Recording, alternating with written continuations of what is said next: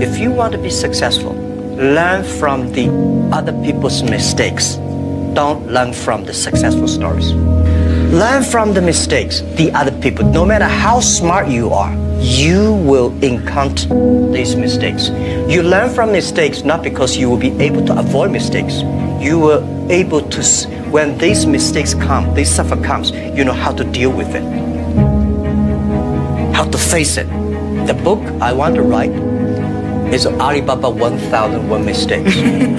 this is the most treasurable things that in my life. In my life, it's not how much we achieved, it is how much we go through the tough days. I got rejected by KFC. I received 30 job rejection. I failed a middle school three times. I was rejected from Harvard 10 times. I failed a key primary school test twice. We have to get used rejection and never give up.